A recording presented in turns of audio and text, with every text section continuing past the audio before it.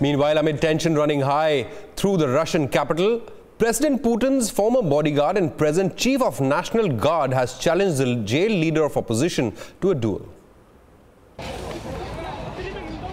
In an extraordinary public outburst, Russian President Vladimir Putin's former bodyguard and chief of the National Guard challenged opposition leader Alexei Navalny to a duel. Navalny rose to prominence because of his anti-corruption campaigns and for spearheading mass anti-government protests across Russia, rattling the Kremlin. Viktor Zolotov recorded an emotional seven-minute speech posted it on the National Guard's YouTube channel, attacking Navalny for his investigation into the large-scale corruption at the National Guard.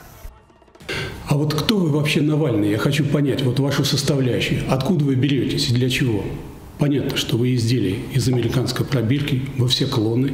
Естественно, конечно же, вы марионетки.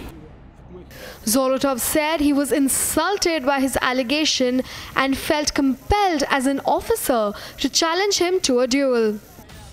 Вы брызжете слюной, лаете, тявкаете на всех, пытаетесь уцепить кого-то за штанину, от вас брезгливо отмахиваются, и вы бежите дальше за следующей штаниной.